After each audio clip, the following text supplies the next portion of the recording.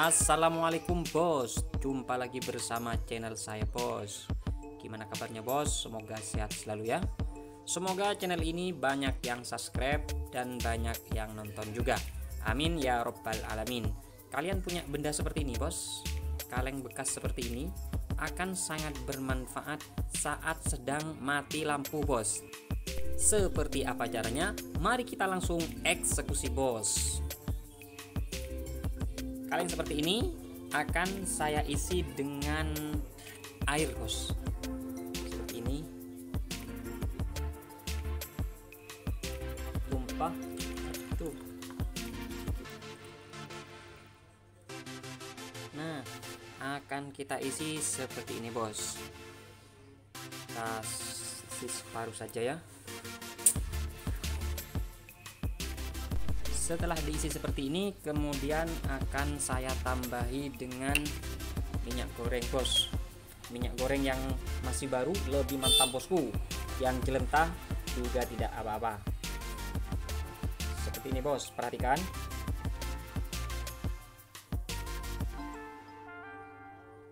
Nah seperti ini bosku. Kemudian langkah yang ketiga kalian harus mencari tutup botol seperti ini bos. Kemudian tutupnya kita lubangi pakai paku seperti ini. Kebetulan ini saya sudah ada bos. Kemudian langkah selanjutnya kita ambil kapas bos. Kapas seperti ini.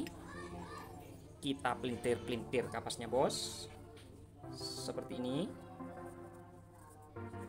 Lalu kita masukkan bos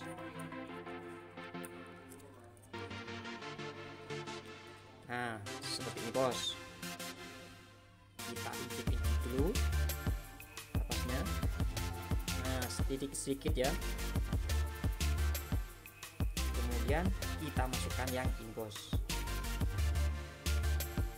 kita masukkan seperti ini bos.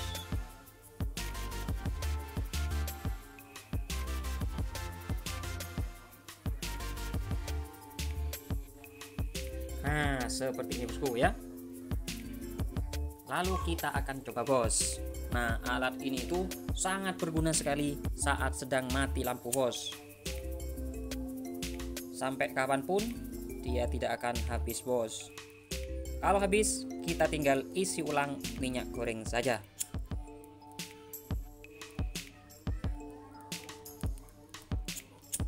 Minyak goreng mahal bos sekarang bos. Nah kita berhasil bos. Ini dia. Alat yang sangat bermanfaat ketika sedang mati lampu atau listrik padam bos. Nah seperti ini bos. Gunanya air yang di bawah ini ini untuk pendingin bos. Jadi dia tidak akan panas bos karena sudah ada air radiator di sini.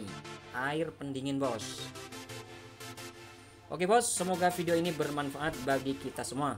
Semoga kita dapat belajar bersama-sama. Terima kasih.